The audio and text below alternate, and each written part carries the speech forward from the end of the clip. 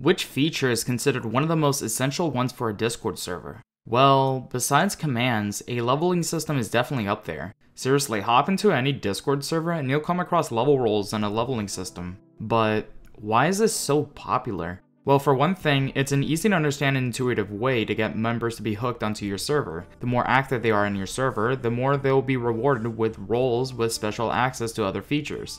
Secondly, it's just really easy to make. So easy, in fact, that you can make one on a web browser with BotGhost. Once you go into the BotGhost website and create a bot, you can scroll through the module list over on your left. You want to look for the module that says Leveling. Click on that module and enable the module. You will now have complete access to the leveling system that BotGhost provides. Let's talk about each one, starting with the embedded coloring. Embedded coloring allows you to change the color of the embedded message and it's displayed for all embeds of the module. The max level is pretty much self-explanatory.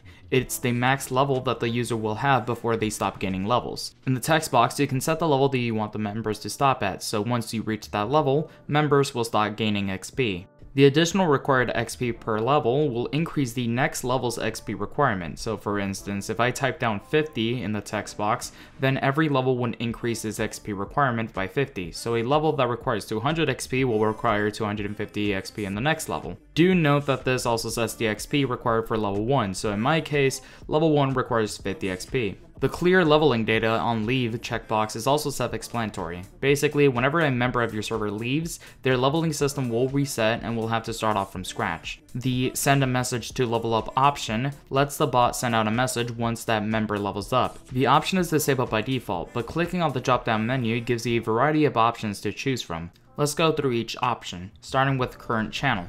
Current channel, as the name implies, just sends an automatic message in the current channel that you leveled up in. The main thing you want to look at is the level up server message that popped up when you clicked on it. You can type the message that you want the member to see when leveling up right here.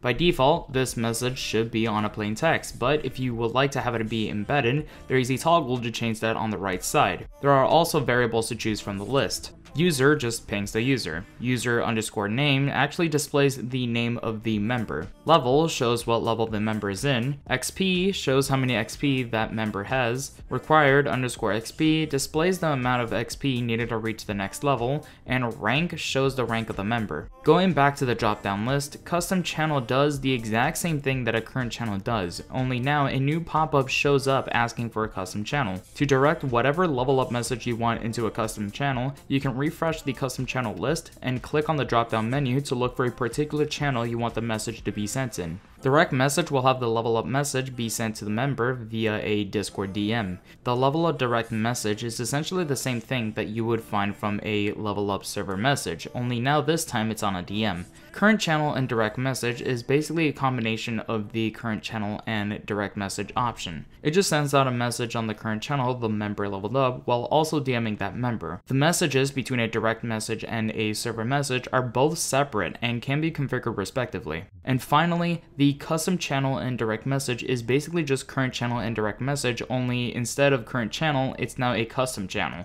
So now you get a new pop-up asking for the custom channel you want the level up server message to be sent. Now, leveling up is cool and all, but you also need a level card to display whenever someone checks for their level. I'll keep this brief, but this is a premium feature for BotGhost, and you can customize these cards using four modes. Embedded is just the default mode, which just displays an embedded message. This is the only level card that's available towards free users. Default card shows a default preset of a card with an advanced color setting that changes its main color, circle color, empty bar color, fill bar color, level text color, experience progress color, and experience percentage color. Card with plain background color is the same as the default card, except it brings up a background color option to choose for the background. Last but not least, the custom image as background card does exactly what the name says. It just sets an image as the background for its card. You can input an image by using its background image text box to type in an image link. So now that we're done with the general settings and level card, let's talk about the message XPs. The XP per message is given in a range between a minimum value and a maximum value. The minimum XP per message message text box is where you set the minimum XP received per message, whereas the maximum XP per message text box is where you set the maximum XP received per message. The cooldown text box is how many intervals in seconds should the bot hands out XPs on a message. For instance, once I set the cooldown of 5 seconds, then members won't be able to get any XP for 5 seconds once they got their XP for a message. This exists so that members can't abuse the XP system by spamming messages in chat.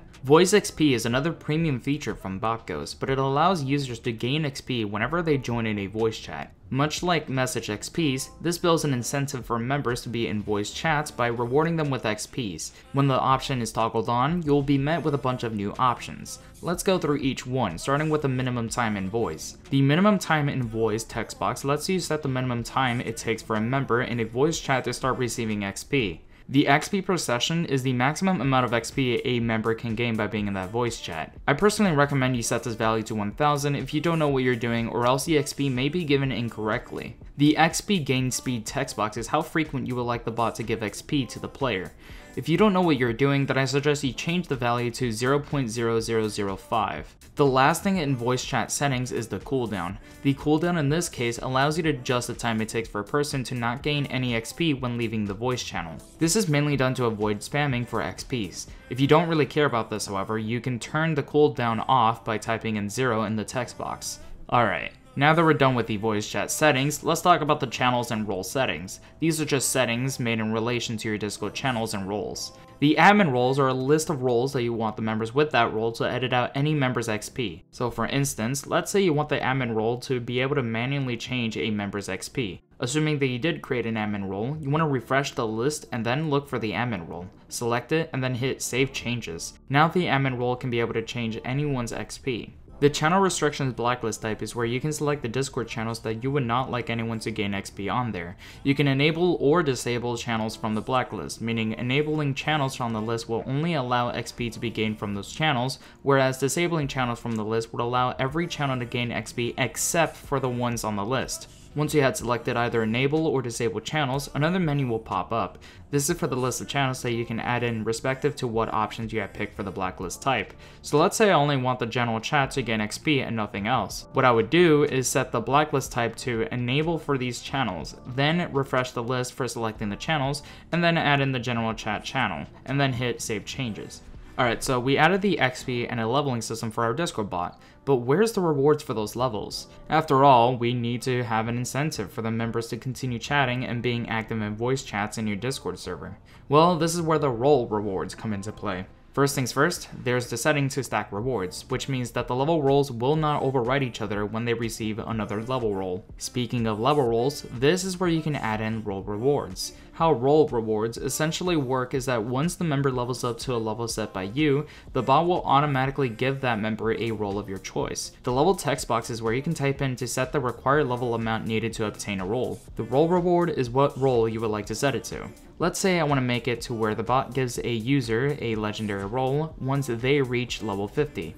Just set the level value to 50 and then hit refresh on role rewards and then choose the legendary role and hit add and then save changes. You may notice that there's upwards of 3 role rewards on the list for free users, but there's a maximum of 100 role rewards total with premium. Alright, let's talk about XP boosters. If you want to, you can set a boost of XP for those who has earned it or in case there's an ongoing event in your server. The sum XP boost setting sums the XP boost as the name implies. Do keep in mind that the setting is disabled by default. The randomized boost will make it so instead of giving the set amount of XP boost to the user, the amount of experience received from the boost will go around 1% and the boost percentage is assigned to the user. Now to implement the boost XP.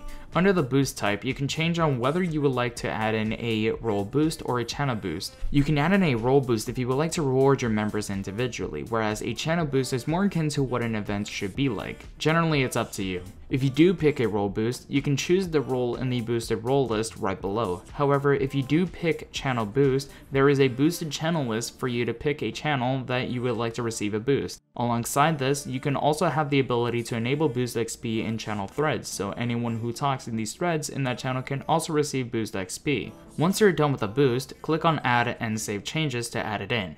Do keep in mind that free users have 3 boosters, while you can have upwards of 100 boosters at once with premium. There are only four commands that you want to be mindful of when dealing with this leveling system. The slash rank command allows someone to view their rank or other people's ranks in their level card. The slash level leaderboard command will display the level leaderboard, showing who is the most active members in your Discord server. The slash level edit dash XP command lets you edit someone else's XP or level. The slash level reset leaderboard will reset everyone's XP and level on the leaderboard. Keep in mind that there is no undo button on this. Once you reset, you cannot go back, so please be mindful of that.